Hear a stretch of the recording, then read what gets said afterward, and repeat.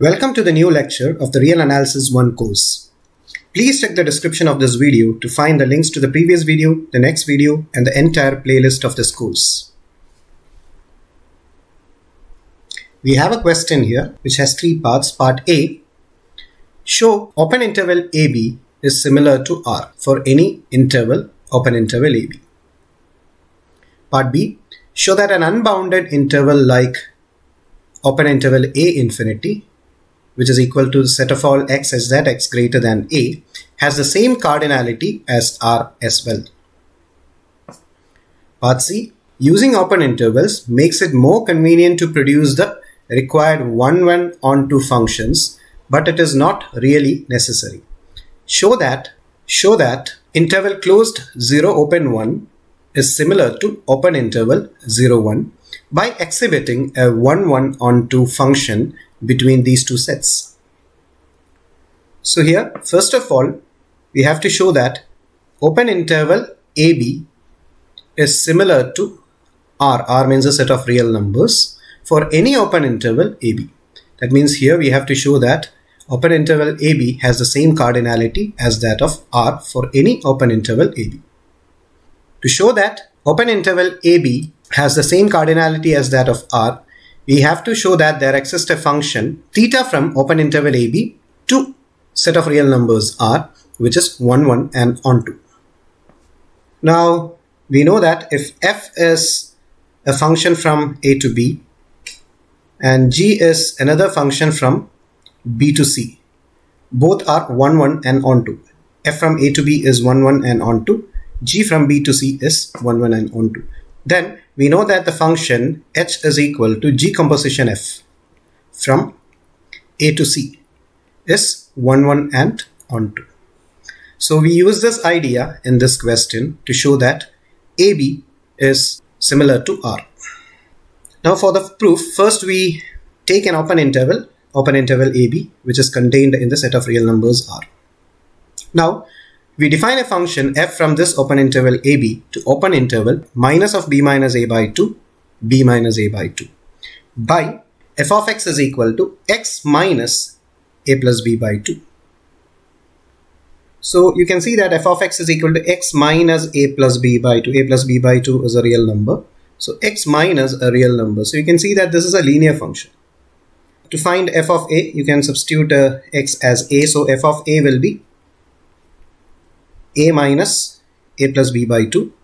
So clearly we will get it as a minus b by 2 and a minus b by 2 is minus of b minus a by 2. So here you can see that the image of a is this point b minus a by 2 and we can check that uh, f of b is b minus a plus b by 2 and clearly this is b minus a by so under this function, the image of b is b minus a by 2. So as this is a linear function, linear function means it's a, the graph of that represents a straight line. So since this represents a straight line, we can see that this function is 1, 1 and onto.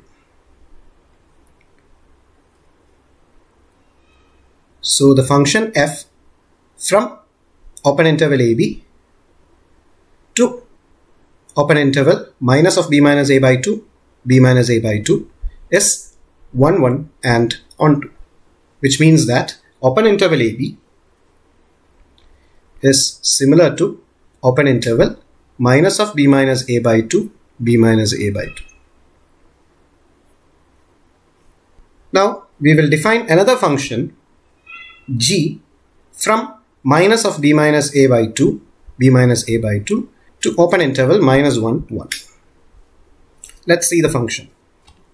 g is a function defined from open interval minus of b minus a by 2 b minus a by 2 to minus 1 1 open interval minus 1 1 and it is defined as g of x is equal to 2x by b minus a. Under this function, uh, you can see that this is also a linear function. b 2 by b minus a is a real number. So it is 2 by b minus a multiplied by x. g of x is 2 by b minus a multiplied by x or 2x by b minus a. So it's a linear function. Now we will check the image of uh, minus of b minus a by 2. So this will be 2 into minus of b minus a by 2 the whole divided by b minus a. So from here b minus a and b minus a will get delete to give you 2 2 will delete and you will get minus 1. So you can see that under this function the image of minus of b minus a by 2 is minus 1 and we will check the image of b minus a by 2. So it will be 2x, x is b minus a by 2 whole divided by b minus a. So b minus a, b minus a will cancel, 2, 2 will cancel to give you 1. So under the under this function, the image of b minus a by 2 is 1. And I told you that g of x is equal to 2x by b minus a is a linear function. So it will be clearly 1, 1 and onto. So the function g from the open interval minus of b minus a by 2, b minus a by 2 to open interval minus 1, 1 is 1, 1 and onto. And this means that open interval minus of b minus a by 2, b minus a by 2 is similar to open interval minus 1, 1.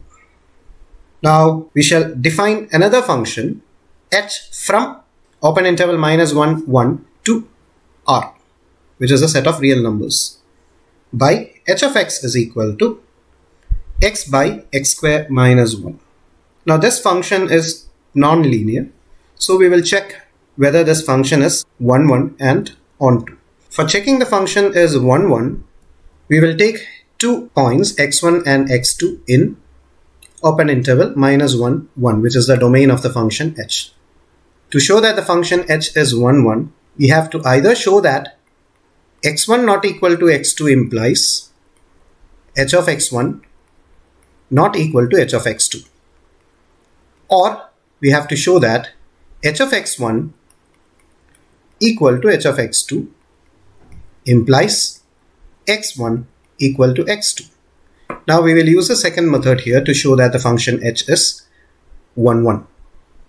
We will start with h of x1 is equal to h of x2. Now h of x1 equal to h of x2 implies that h of x1 is x1 by x1 square minus 1 and h of x2 is x2 by x2 square minus 1. Now when we cross multiply this, we will get x1 into x2 square minus 1 is equal to x2 into x1 square minus 1. Now we will multiply this inside.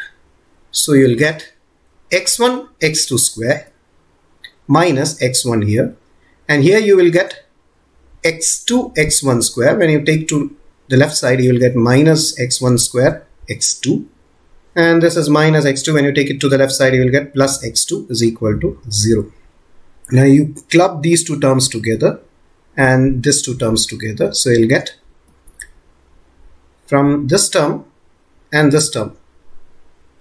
You can take x1 x2 as a common factor. So you'll get x1 x2 into x2 minus x1 plus what is left is x2 minus x1 equal to 0 so from this term and this term you can take it x2 minus x1 as a common factor. So you'll get x2 minus x1 into what is left as x1 x2 plus 1 equal to 0 so from here you will get either this term x2 minus x1 is equal to 0 or this term x1 x2 plus 1 is equal to 0 that means x1 is equal to x2 or x1 x2 is equal to minus 1 now we know that x1 and x2 are values of uh, open interval minus 1 1.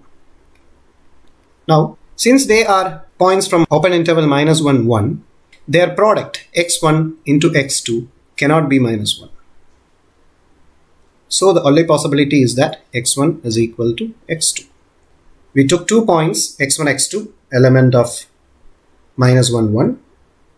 We started with h of x1 is equal to h of x2 and we got x1 is equal to x2. So this implies that the function h is 1 to 1.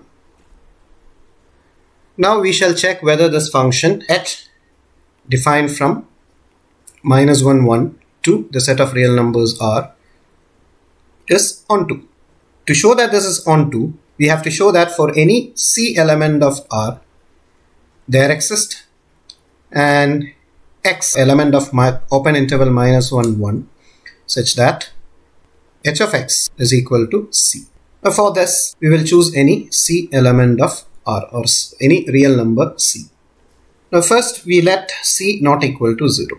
If c not equal to 0 then h of x equal to c implies that x by x square minus 1 h of x is x, x by x square minus 1 equal to c. So when you cross multiply here you will get x is equal to cx square minus c. So bringing this x to the side you will get 0 is equal to cx square minus x minus c or you will get cx square minus x minus c is equal to 0. Now from here this is this being a quadratic equation you can use the quadratic formula to find the value of x. So x is equal to 1 plus or minus root of 1 square which is 1 plus 4c square whole divided by 2c. So here we got two values for x which was uh, x is equal to 1 plus or minus root of 1 plus 4c square whole divided by 2c. Now we were considering the case where c not equal to 0. This will we will in turn split this case into two when c less than 0 and when c greater than 0. First we will consider the case where c is less than 0. So when c is less than 0 we will take we have two values here we will take one value x is equal to 1 minus root of 1 plus 4c square by 2c and we know that uh, if c is negative 1 plus 4c square will be greater than 1 so that root of 1 plus 4c square is again greater than 1 so this means the quantity 1 minus root of 1 plus 4c square is negative and as c is negative 2c is negative so this is a negative number by another negative number so you will get x is greater than 0 now again, x is 1 minus root of 1 plus 4c square. Now we have the case where c is uh, negative. So here, if c is negative, consider 1 plus 4c square and uh, 1 minus 4c plus 4c square. As c is negative, minus 4c will be positive, so that 1 minus 4c square will be less than 1 minus 4c plus 4c square. Now 1 minus 4c plus 4c square is uh, 1 minus 2c the whole square. So we have 1 plus 4c square is less than 1 minus 2c the whole square. Now we take square root on both sides. So we will get 1 plus 4c square is less than square root of 1 minus 2c the whole square.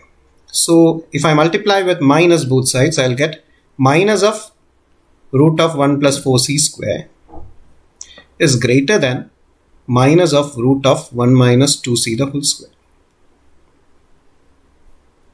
If I add 1 to both sides, you will get 1 minus root of 1 plus 4c square greater than 1 minus root of 1 minus 2c the whole square. This inequality will be unchanged because I am adding a positive quantity both sides. Now I am going to divide both sides with 2c. 2c is a negative quantity so when I divide with a negative quantity 2c, what happens is that this inequality will revert. This will become less than 1 minus root of 1 minus 2c the whole square whole divided by 2c. So here you, you will get that this is less than 1 minus root of 1 minus 2c the whole square by 2c. And uh, we know that square root of 1 minus 2c the whole square is 1 minus 2c. So you'll get uh, 1 minus 1 minus 2c by 2c. 1 and minus 1 will delete. You will get 2c by 2c which is 1. So that means what you got is that you got x is less than 1.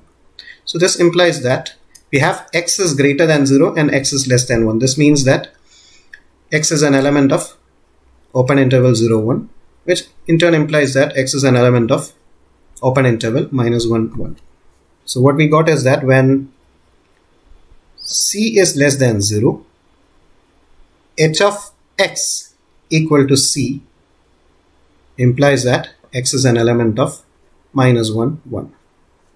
Now we will consider the next case where, where c is greater than 0. Now when c greater than 0, x is equal to 1 minus root of 1 plus 4c square by 2c. We know that root of 1 plus 4c square is clearly greater than 1. So 1 minus root of 1 plus 4c square is a negative quantity. And 2c is a positive quantity. So this is a negative quantity divided by a positive quantity. So clearly this is less than 0.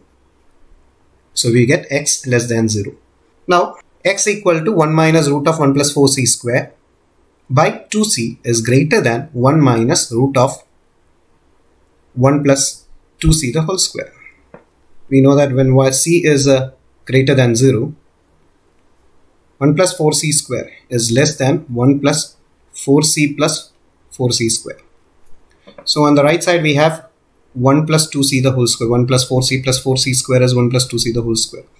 When we take square root on both sides, we'll get square root of 1 plus 4c square is uh, less than square root of 1 plus 2c the whole square. Now, when we multiply with minus 1 both sides, we'll get minus of root of 1 plus 4c square is greater than minus of square root of 1 plus 2c the whole square.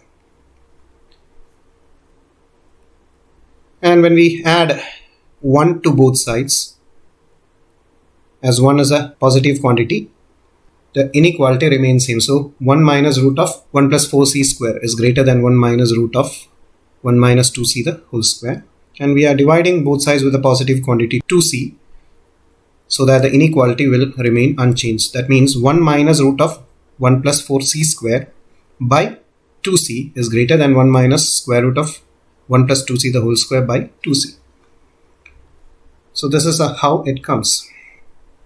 Now this is equal to 1 minus 1 plus 2c by 2c. So you will get minus 2c by 2c which is equal to minus 1. So what we got is that x is greater than x is greater than minus 1. So when x is greater than minus 1 and also x is less than 0 that means x lies in between minus 1 and 0 so this implies that x is an element of open interval minus 1 1. Here we have considered the two cases c less than 0 and c greater than 0. Now we will consider the case when c equal to 0.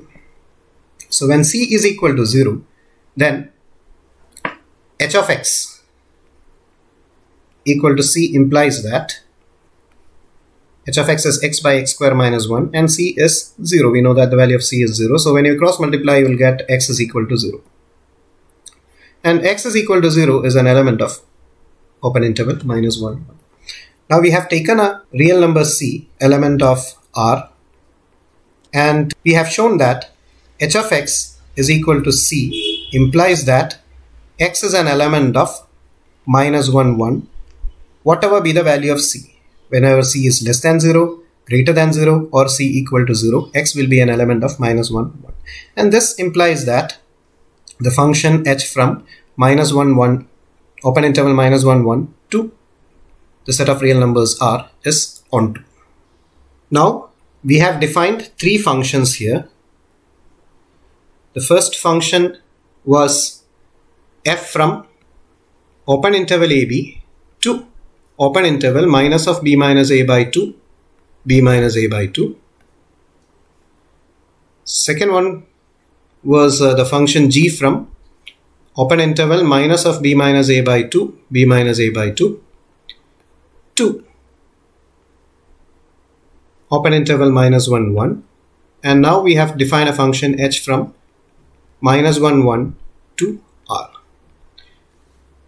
Now all these functions f, g and h were 1, 1 and onto. Since all these functions were 1, 1 and onto, their composition h composition, g composition, f denoted as theta and this will be a function from open interval AB to R defined by theta x is equal to H composition G composition F of X which is defined as H of G of Fx. Now since theta is equal to H composition G composition F and H, G and F are all 1 1 and onto we can say that their composition H composition G composition F which is equal to theta is a 1 1 onto function from open interval AB to the set of real numbers R. So here we have defined theta from open interval AB to R by theta of x is equal to H composition G composition F of x. Theta of x is H composition G composition F of x which is H of G of F of x as we have mentioned earlier and this is equal to H of G of fx. Remember the functions were defined as uh, fx is equal to x minus of a plus b by 2. g of x is equal to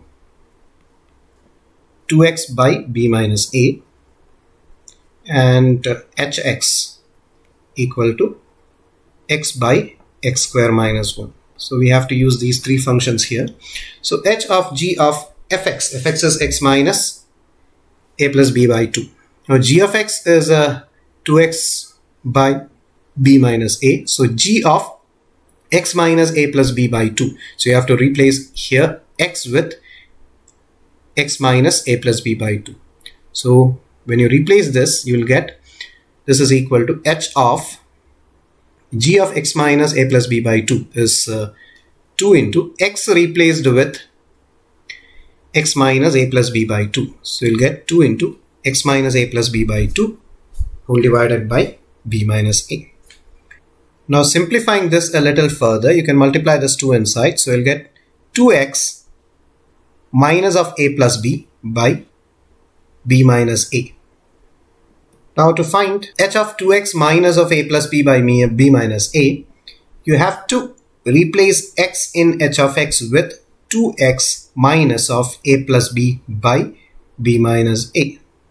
So this will become h of 2x minus of a plus b by b minus a will become 2x minus of a plus b by b minus a the whole divided by 2x minus of a plus b by b minus a the whole square minus 1. Now you can see that there is a b minus a the whole square in the denominator and there is a b minus a in the numerator here. We will be multiplying each terms here with b minus a the whole square.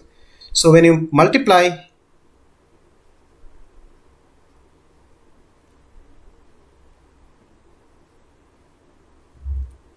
all the terms with uh, b minus a the whole square, you can see that this b minus a and one of the b minus a here will get deleted.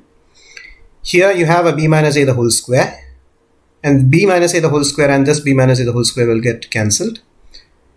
So what you get is uh, b minus a into 2x minus of a plus b in the numerator by denominator you have 2x minus a plus b the whole square. So using the formula you will get 4x square minus 2 into 2x into a plus b that means 4x into a plus b plus a plus b the whole square minus 1 into b minus a the whole square is b minus a the whole square. Now you got to simplify a little bit.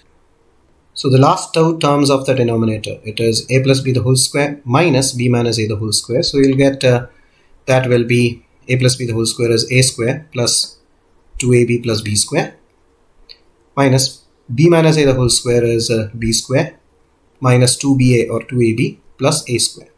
So if you subtract this, you will you can see that a square minus a square will go, b square minus b square will go. So you'll get 2ab minus minus 2ab which is 4ab. So this term will be 4ab. In the denominator you will have 4x square minus 4x into a plus b plus 4ab.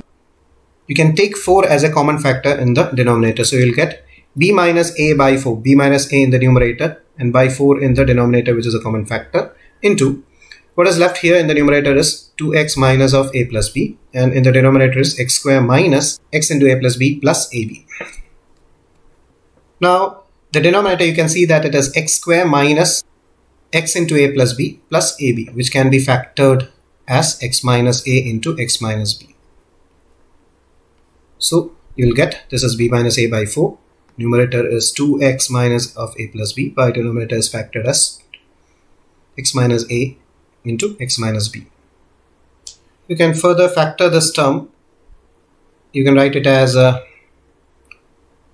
x minus a plus x minus b by x minus a into x minus b.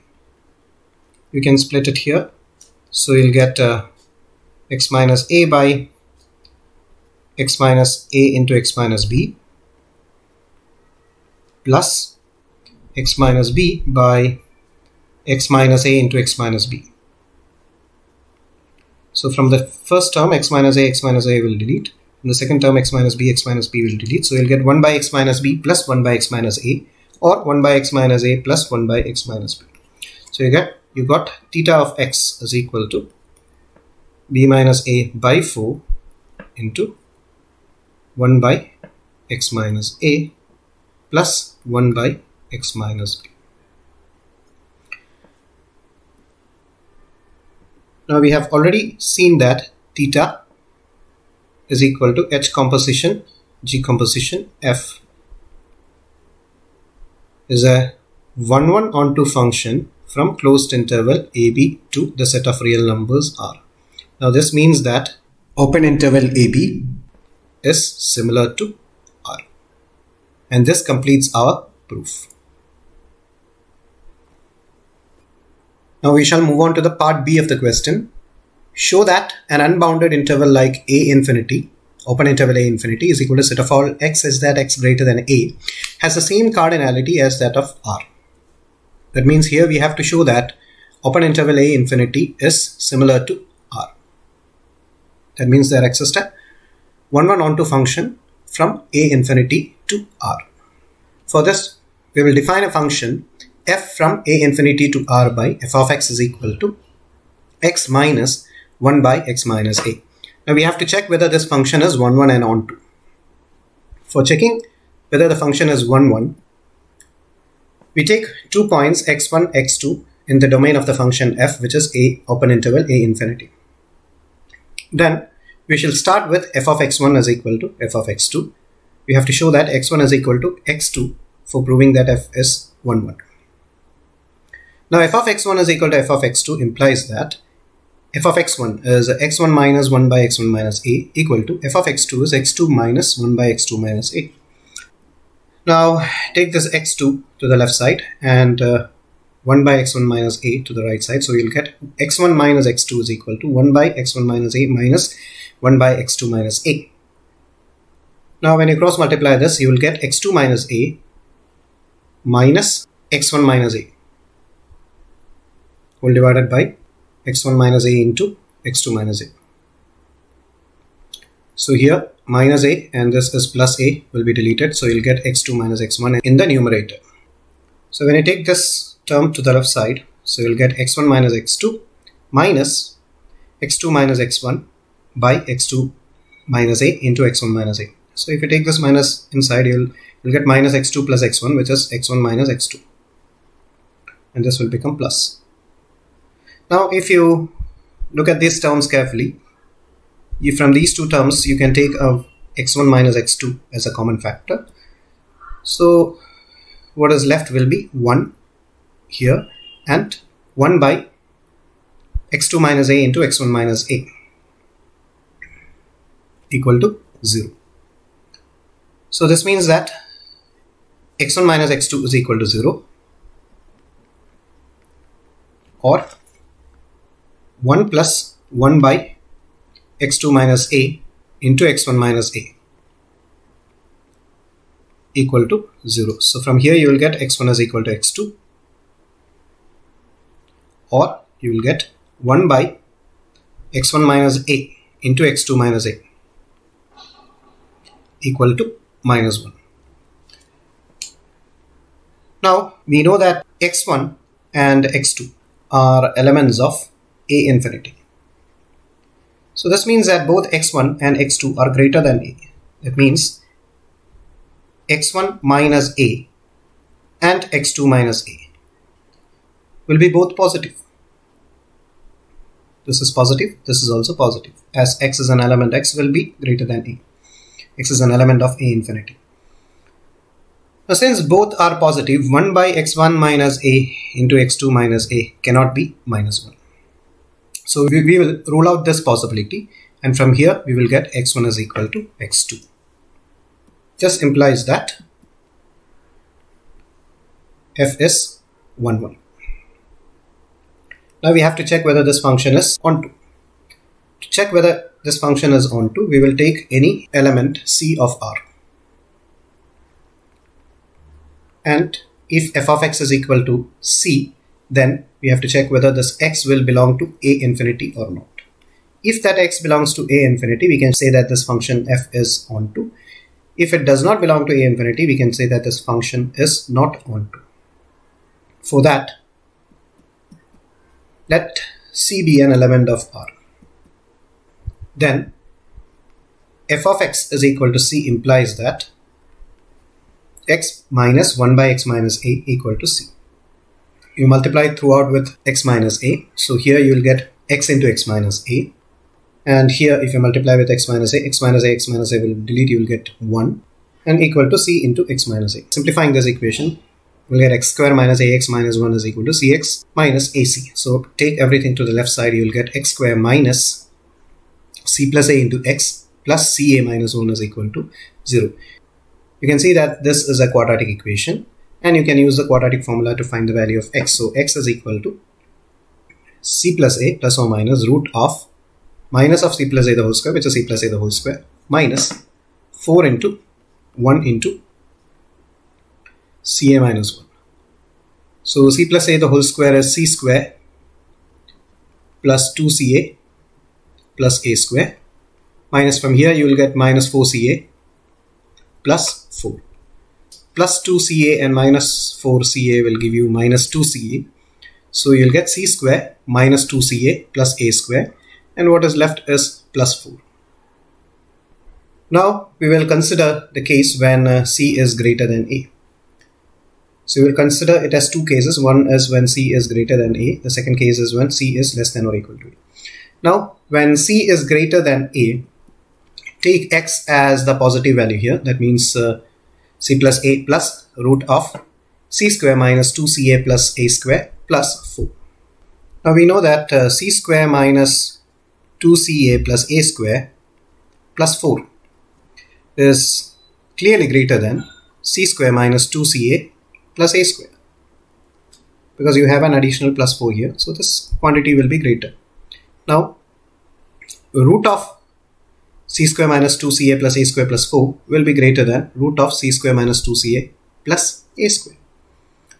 So when you add a uh, c plus a to both sides, so you'll get c plus a plus root of c square plus 2ca plus a square plus 4 is greater than c plus a plus root of c square minus 2ca plus a square. And uh, divide with uh, 2 on both sides 2 is a positive quantity. So still this inequality will hold. So we can say that this entire quantity is greater than c plus a plus root of c square minus 2ca plus a square whole divided by 2 you know that the quantity inside this root is uh, c minus a the whole square.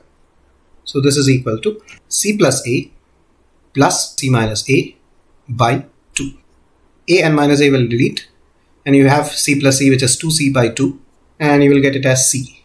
Here we got x greater than c which is greater than a so x belongs to a infinity. Now when c less than or equal to a we will take x as c plus a minus root of c square minus 2ca plus a square plus 4 and we know that uh, this part is uh, c minus a the whole square plus 4 now consider the terms uh, c minus a the whole square plus 4 and here we have c minus a the whole square minus 4 into c minus a plus 4. Now you're given that C is less than or equal to A. So if C is less than or equal to A, C minus A is less than or equal to 0, that means negative. So this is a negative quantity. So minus 4 into C minus A is a positive quantity. So we can say that the right side will be greater than. So we will get C minus A the whole square plus 4 is less than or equal to C minus A the whole square minus 4 into C minus A plus 4 and the right hand side you can see that it will be c minus a plus 2 the whole square. C minus a plus 2 the whole square is c minus a the whole square minus 2 into c minus a into 2 which is 4 into c minus a plus 2 square which is 4 taking the roots on both sides you will get uh, root of c minus a the whole square plus 4 is less than or equal to root of c minus a plus 2 the whole square. Now if you multiply with minus on both sides, so you'll get minus root of c minus a the whole square plus 4 is greater than or equal to minus root of c minus a plus 2 the whole square. So you can add a c plus a on both sides, which is a positive quantity. So you'll get c plus a minus root of c minus a the whole square plus 4 is greater than or equal to c plus a minus root of c minus a plus 2 the whole square. Now you can divide with uh, 2 on both sides. So you will get this c plus a minus root of c minus a the whole square plus 4 is greater than or equal to c minus a minus root of this you can write it as c minus a minus 2 the whole square.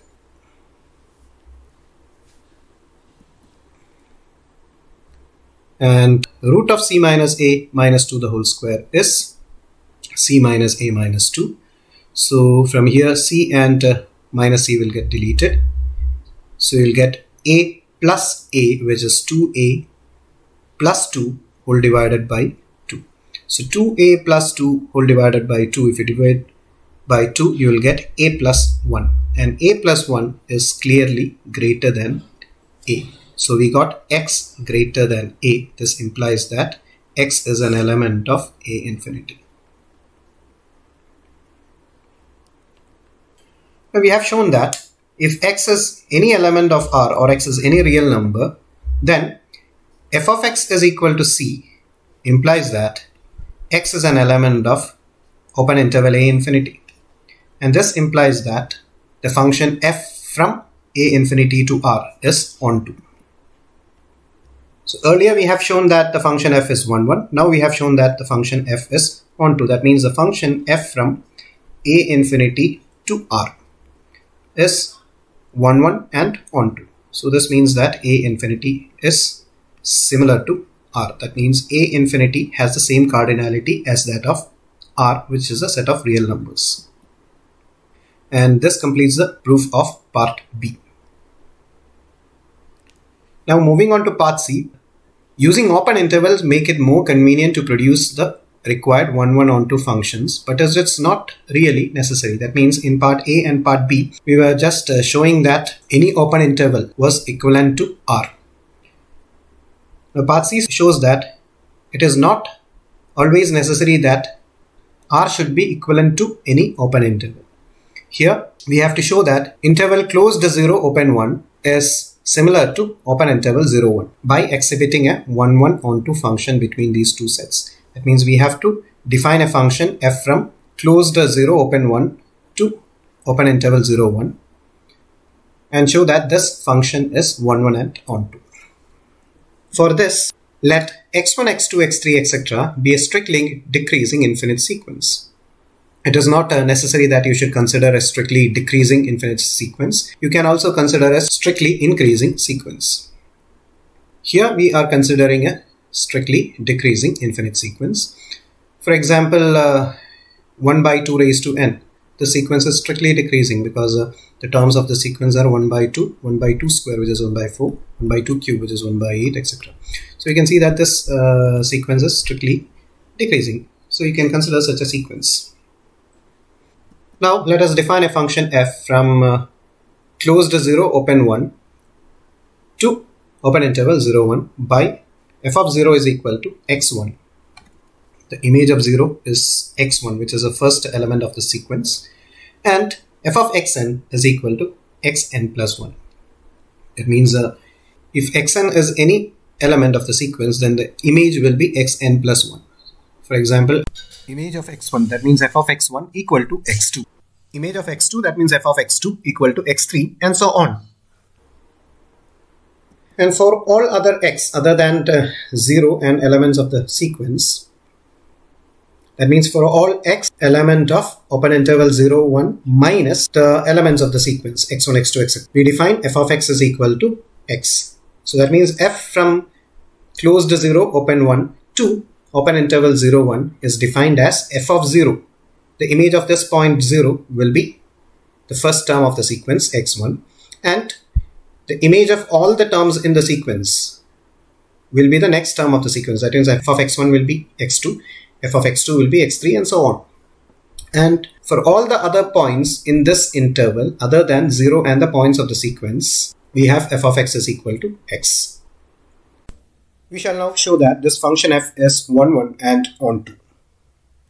For showing that f is 1 1, we take any two elements x and y in the sequence. Let x and y element of the sequence x1, x2, etc. xn such that x not equal to y. So for elements of the sequence, we have f of xn equal to xn plus 1. So if x and y are two distinct elements of the sequence, then clearly their images will not be same. Then x will be some xk whose image is xk plus 1 and y will be some xm whose image will be xm plus 1. And so f of xk will not be same as f of xm. So we can say that f of x not equal to f of y. And so f is 1 1 on this sequence sequence x1 x2 etc so we have shown that in this case the function f is 1 1 now we shall show that f is onto in this set of elements of the sequence. For that let y be any element of the set of all elements of the sequences. So y is an element of set x1 x2 etc means that y is some xn or y is equal to xn for some n. And we know that by the definition of this xn means f of xn minus 1 that means you got a point in the sequence xn minus 1 whose image is y. And if y is x1 if y is equal to x1 then by the definition of f we have f of 0 equal to x1 which is y. So in this case we can see that f is on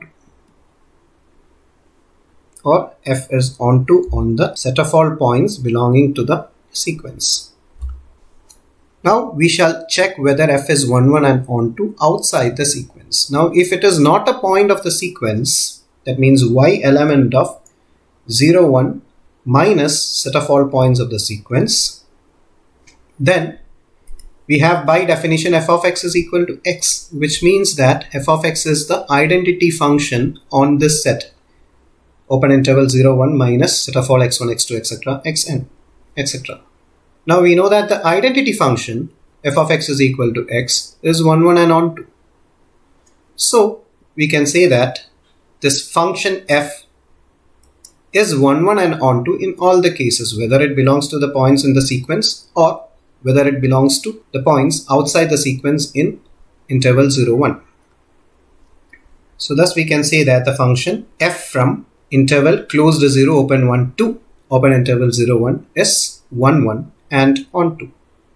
And hence we can say that the interval closed 0 1 is similar to open interval 0 1. And this completes proof of part C.